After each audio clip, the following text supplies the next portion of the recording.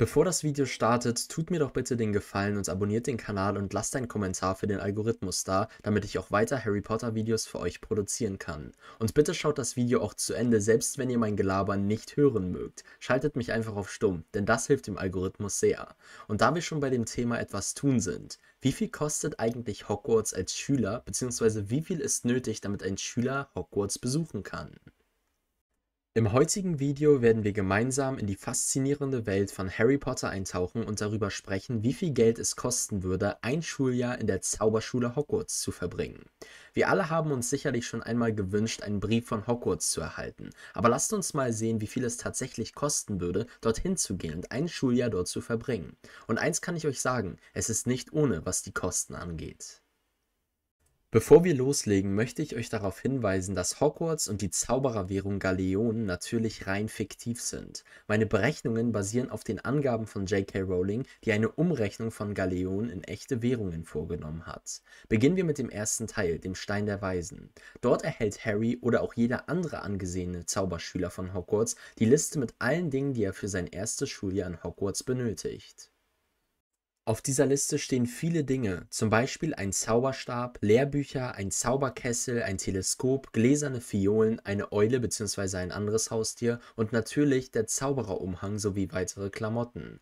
Dies wurde wie gesagt einmal von J.K. Rowling in US-Dollar ausgerechnet. Die Beträge sind wie folgt: Zauberstab 42 US-Dollar, Lehrbücher 91 US-Dollar, Zauberkessel 105 US-Dollar, Teleskop 35 US-Dollar, gläserne Fiolen 21 US-Dollar Eule 140 US-Dollar, Zaubererumhang und andere Klamotten 576 US-Dollar. Wenn wir diese Kosten zusammen addieren, kommen wir auf etwa 1010 US-Dollar. Aber das sind ja auch nur die Gegenstände, die man für den Schulbesuch an sich braucht. Wir dürfen bei den Kosten nicht die Schulgebühren vergessen. Diese sind nämlich recht hoch. Das Durchschnittsschulgeld bei den besten britischen Internaten, mit denen Hogwarts mithalten könnte, beträgt rund 42.000 US-Dollar pro Jahr.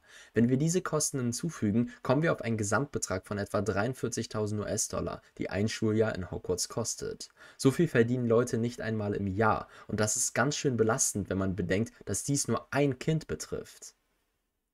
Es ist nicht hundertprozentig klar, ob diese Informationen der Wahrheit entsprechen oder ob die Kinder mit Stipendium einfach gratis nach Hogwarts können, was die Schulgebühren angeht. Es gibt viele Leute, die davon ausgehen, dass das Zaubereiministerium die Schulkosten der Schüler übernimmt, aber einen klaren Beweis dafür gibt es auch nicht. Es gibt eine Szene im Film, wo Vernon Dursley zu Hagrid sagt, dass er keinen alten Spinner dafür bezahlt, dass Harry Zauberei beigebracht wird, und das ist eigentlich der einzige Anhaltspunkt, den wir haben.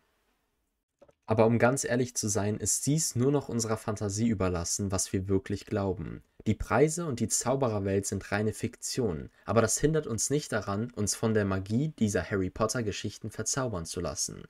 Falls du noch Fragen haben solltest oder du eine andere Meinung vertrittst, schreib es mir gerne in die Kommentare. Vergiss nicht den Kanal zu abonnieren und einen Kommentar für den Algorithmus zu schreiben.